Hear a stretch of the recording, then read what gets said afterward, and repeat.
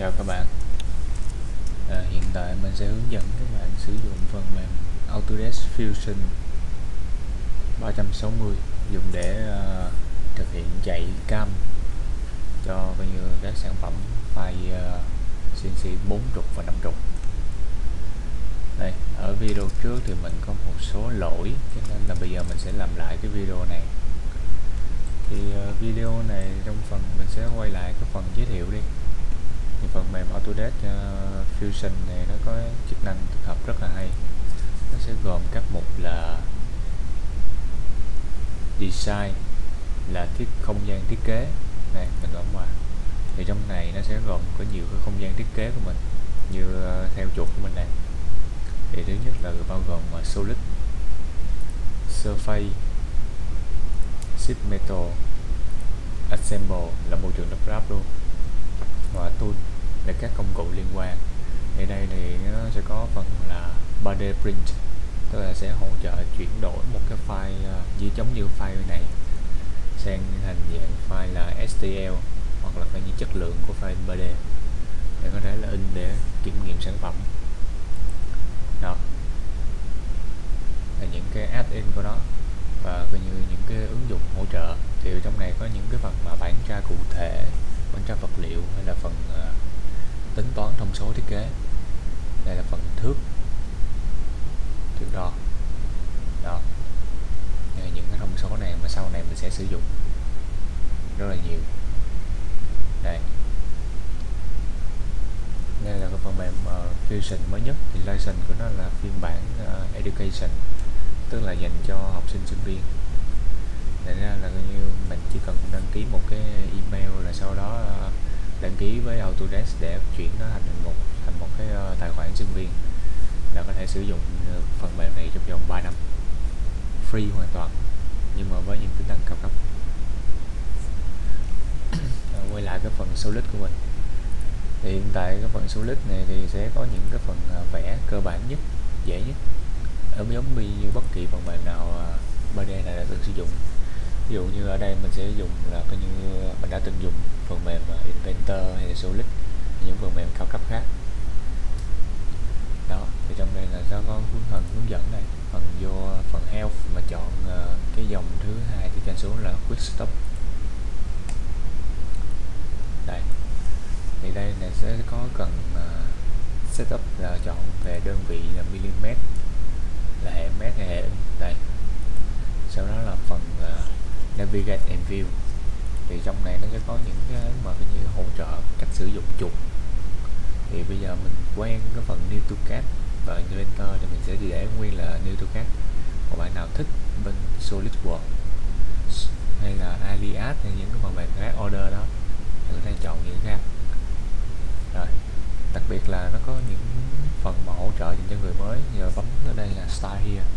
Ta sẽ chuyển tới trang mà hướng dẫn sử dụng đầy đủ và toàn bộ nhất trọn vẹn nhất dành cho Autodesk Fusion tức là phần mềm hãng làm ra thì hãng có trách nhiệm là hướng dẫn sử dụng 100%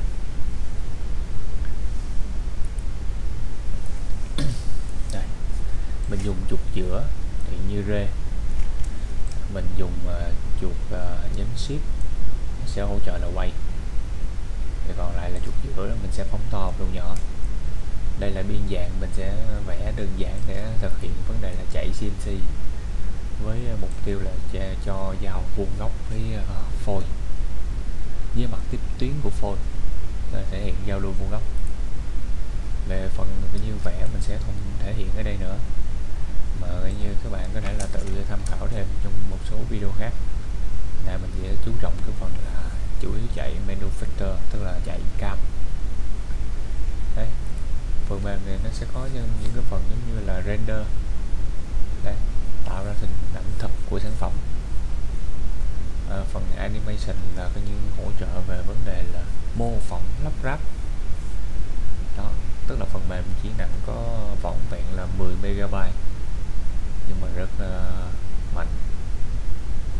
Thì hiện tại là ứng dụng công nghệ điện toán đám mây cho nên phần mềm này rất là ok cho những cái máy có cấu hình yếu máy Core i3 hay những máy mà đua core đời cũ vẫn có thể chạy được phần mềm này. Chỉ cần một đường truyền mạng ok. Và cập nhật driver card màn hình mới nhất để có thể chạy được. Đó, đây là phần simulation.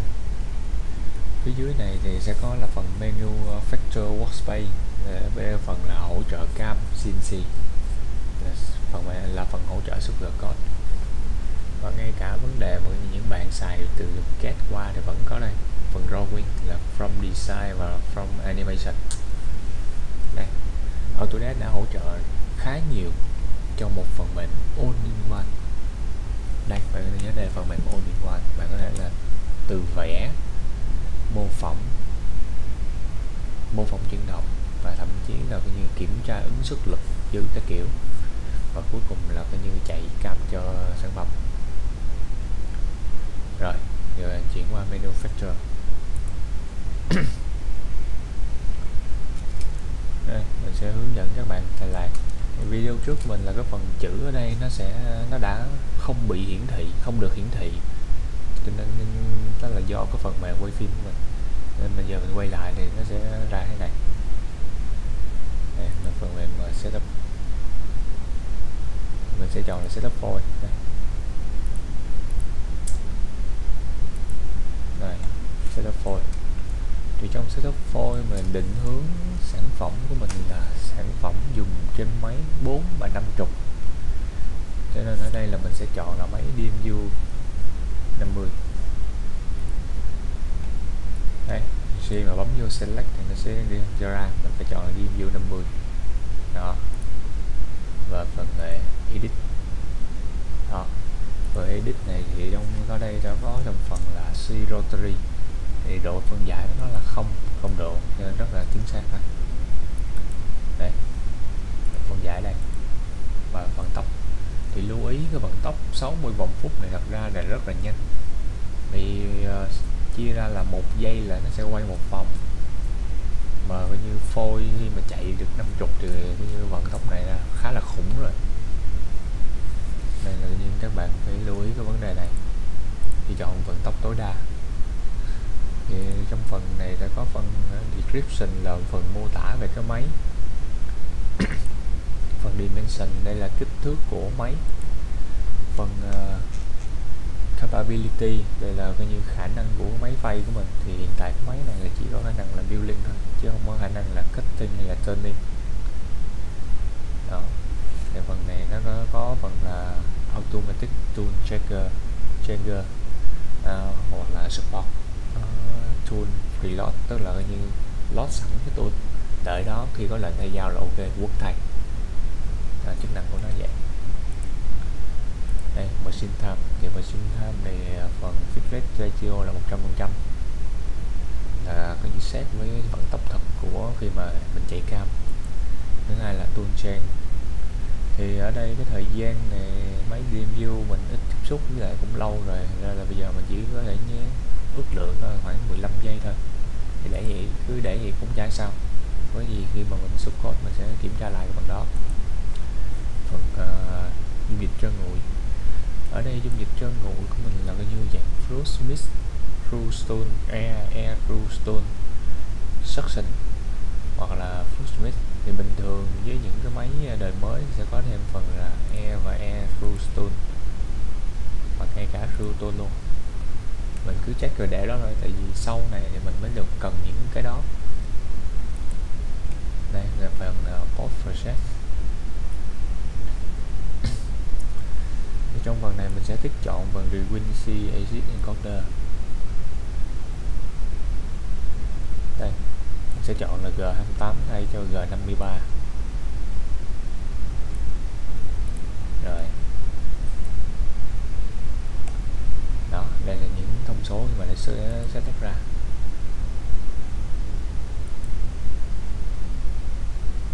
Rồi.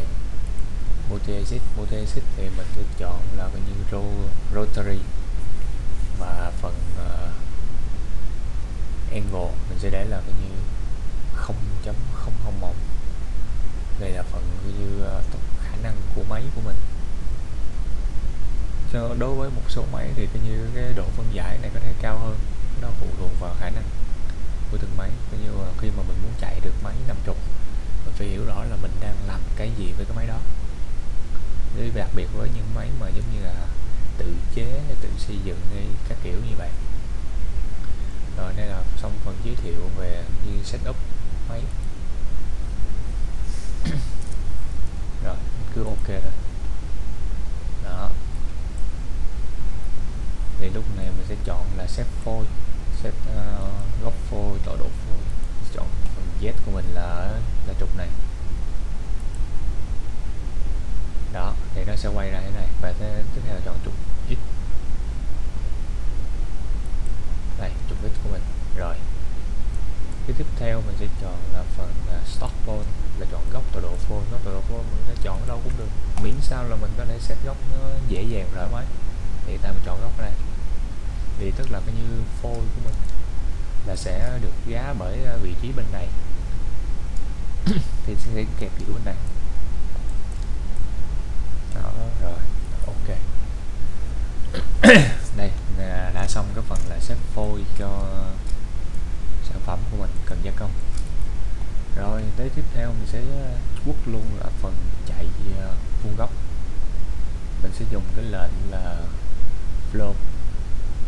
Flow này nó sẽ chạy theo đường bao, đường biên của sản phẩm. Vì sản phẩm này là mình tự vẽ, cho nên là mình sẽ dễ dàng mình chọn được phần bao và đường biên của nó. Trong phần tool thì ờ, mình tool mình sẽ chọn này đây đây là hai con dao mình đã tạo rồi. Thì bây giờ như cái cách tạo là mình sẽ bấm vào biểu tượng này và new new tool. Đây nó có các là new new tool new holder new turning tool à, và như vân vân những thứ khác. Thì bây giờ mình đã chọn con này thì hiện tại mình edit. Mình sửa lại cái vấn đề của con này. Thì hiện tại lúc nãy à, mình đã để là 0.5 thì bây giờ mình sẽ, sẽ để xuống là 0.1 đó. Đây. 0.1 mm. Rất là nhỏ nha. Lưu ý rất là nhỏ. Rồi cái uh, số men cắt của nó hiện tại là hai men. Thì với dao khắc và một số dao khắc tượng đục tượng thì có thể nó chỉ còn là một men hiện tại mình để vấn đề hai me khi cần nó sẽ thay đổi bị cái hai me hay một me nó sẽ ảnh hưởng tới cái fit rate hơn là vận tốc cắt VC vận tốc cắt VC là biểu hiện là mét trên phút thì thông số nó biểu hiện là hôm qua cái bản tiếp theo. Bây giờ ở đây mình vẫn giới thiệu tiếp là về vấn đề vật liệu dao. Vật liệu dao ở đây là có high speed steel à, uh, tie coated carbide và ceramic thì đây là như những vật liệu làm mũi dao cơ bản nhất. Hiện tại mình sẽ chọn là H uh, high, high speed steel. Đây. Cho vấn đề của mình. Để mình nhớ là chọn là Tap uh, à, tapper à, mill nha. Chứ đừng có chọn mấy cái loại uh, sổ này nó flat and mill rồi đó. Những cái này là những cái uh, khác. Mình sẽ giới thiệu trong một uh, video khác. Đây. Đây là phần uh, sharp đây là phần holder. Thì holder ở đây mình sẽ ờ, người ta đưa chuẩn sẵn luôn. Là CAT 40 uh, ER 32 đó. Bên đây là như fish speed thì hiện tại spindle mình sẽ dùng cái tối đa vì nó là khắc. Nên sẽ để vận tốc tối đa của nó là 24 ngàn mà ra 24 ngàn so với cái đầu mà 0.1 con là rất nhỏ thì đường cái đầu chấm 1 người ta có thể gắn cái đầu nó lên tới 30, 50 hay là 60 ngàn thậm chí là 100 ngàn giờ phút. Phụ thuộc vào máy của mỗi người. Này thì hiện tại máy của mình thì như chỉ tầm là 20 ngàn thôi. Nên nhớ đây là máy DMU 50 nha. Rồi ờ, mọi người nhớ chọn phần ờ, uh, break control để kiểm tra coi như ờ, khả năng gãy của dao sau khi dùng. Rồi, đây đây là hình ảnh ờ, đầy đủ rồi. Mình bấm ok nè. Rồi, nó hỏi là có muốn ghi đè là không? Cứ dép rồi tiếp tục ok tiếp rồi đang chọn đó ok rồi phần tiếp theo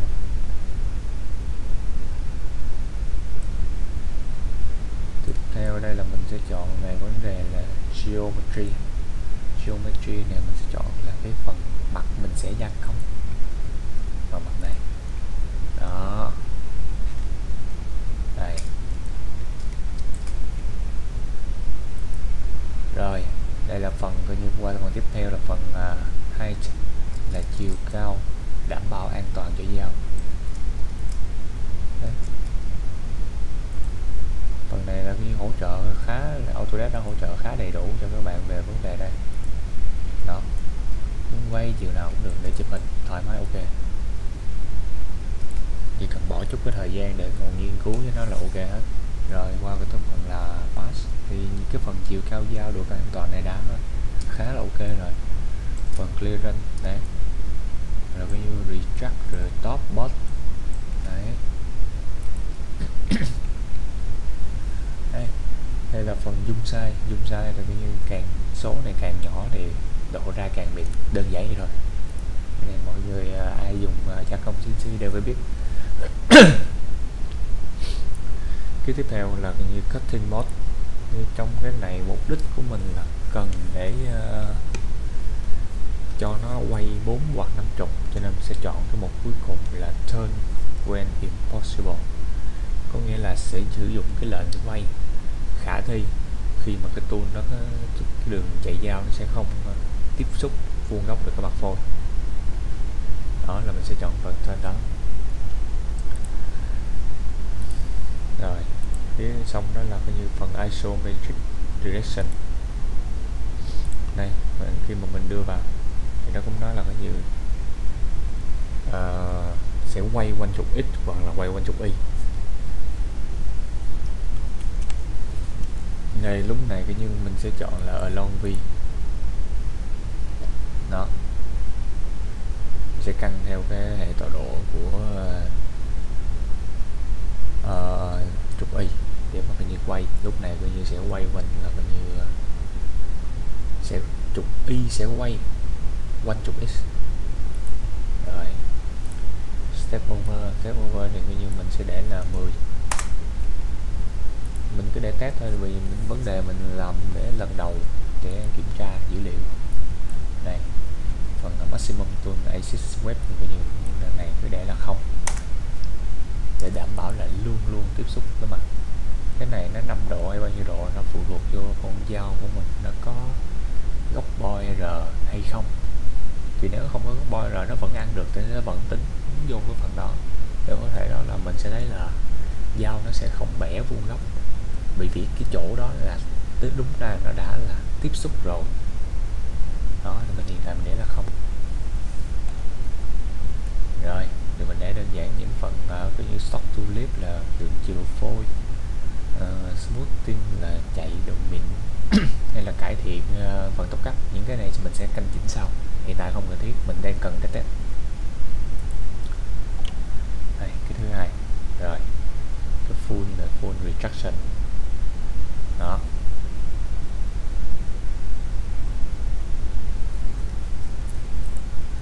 rồi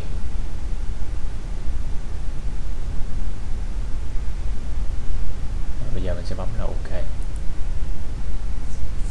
thì phần mềm này là chạy trên điện toán đám mây cho nên mình cần là cần một cái đường truyền cáp quang tương đối ổn định. Thì tầm khoảng 18 megabit trên dây là ok rồi. Tức là không có bị uh, chỉ cần có mạng là ok chứ không có phải nhất thiết là coi như uh, bắt buộc phải có mạng. Đây là phần khi mà chờ có thể nó hơi lâu.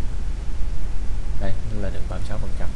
Mình sẽ mở đây đây là những cái mình đã tạo trước đó đây là các bạn bắt này này nó đã chạy. Thì mình sẽ, hiện tại mình sẽ mô phỏng dựa trên cái bát đã chạy đây còn phần này nó xong thì sẽ tính xong cái phần này nó chạy xong rồi, thành ra sẽ có này, có luôn cái phần dung lượng của file của mình. Thì cứ thấy ra đây là coi như phần này là mình đã xuất đúng rồi có xuất đúng như trình thì nó sẽ ra cái đây đây là một cái, cái dành cho cái file cũ rồi. Này, đây, mình sẽ bấm uh, simulation. Simulation chuột phải nha click chuột phải cho simulation rồi đây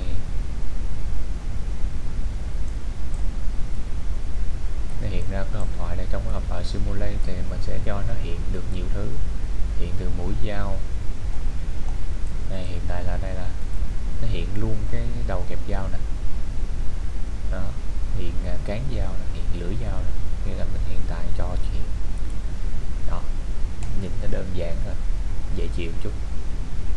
Rồi phần uh, toolbar toolbar ở đây tắt đi hoặc là để mở ra.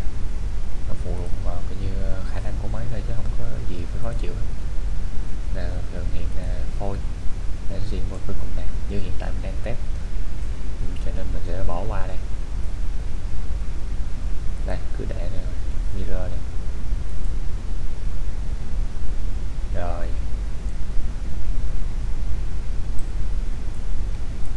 này nó năng là nó sẽ chạy đây đây nó bị báo là coi như uh, bị rất chậm rồi cho nên mình sẽ tắt cái stock này đi rồi các bạn thông cảm đây là phần info này, này là có invoice vấn đề là vật liệu, thể tích vật liệu, hay là những cái vận tốc khác của dao, cụ cái kiểu. Rồi, phần tổng hợp đây, nó thì nó chạy, nó báo là cái chạy 10 bát này sẽ mất là một phút 55 giây đó Đây mình sẽ giảm chậm lại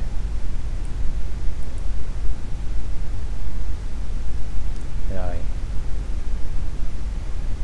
đó thấy không nó sẽ bắt đầu từ bên này trước nè đây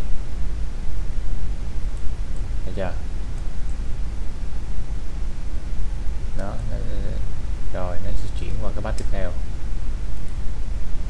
thì cái vấn đề cái độ rộng bát tức là cái chỗ à, step number step over lúc nãy là nó sẽ phản ánh cái phần này. Là mình càng muốn đi bao nhiêu ví dụ như cái phôi này chiều dài của nó là 50 mm thì bạn cứ uh, tăng cái step over tới khi nào đạt được cái độ tinh mình cần mình mong muốn là sẽ ra hết ok. Đó cái góc này rất là nhỏ rồi cho nên trong thiết kế CNC nếu mà đòi hỏi một cái góc này là mình phải có một phương án gia công khác. Chứ không lẽ nào cứ dùng cho một cái đường toolpath để mà chạy cái đường như thế này. Đó. Thì mỗi lần nó chạy như thế này thì ờ, nó coi như phôi nó sẽ quay. Hiện tại là mặc định là nó sẽ cho là coi như ờ, phôi đứng yên và dao chạy. Đó. À, chạy gần xong rồi đó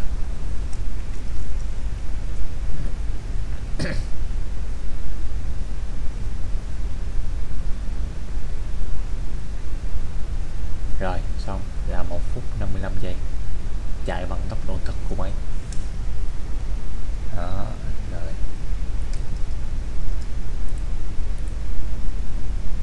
đây cái này nó cũng chạy đây nó cũng tương tự như vậy thôi đó cũng chạy cũng ra cũng bao cũng đi vô sát góc luôn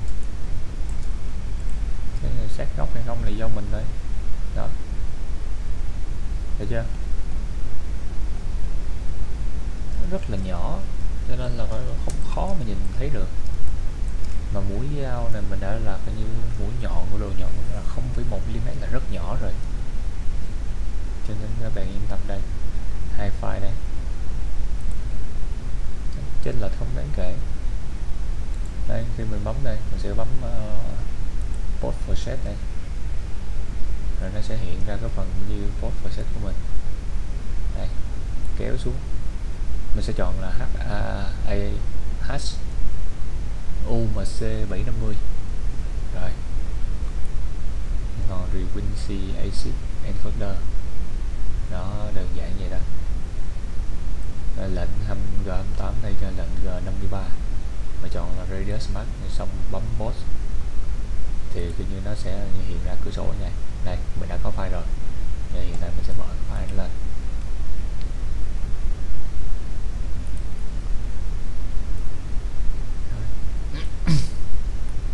đây thì trong file này mình sẽ check cái vấn đề data của mình đó thì khai báo trao mình tóc cắt đó. tóc cắt sửa lại nhẹ rồi chỉ vậy thôi đó thì như những cái này nó sẽ đi theo cái như để xuất hiện cái uh, tọa độ là a đây Thấy không đó cái mỗi bắt là coi như nó sẽ coi như làm những cái công việc đó. Thì vì là coi như cái chương trình này nó sẽ chạy theo ờ, bo theo sản phẩm. Cho nên là nguyên đây là một cả một đoạn chương trình chỉ chạy đúng ở một vị trí tọa độ x. Đấy mình bấm uh, blackboard.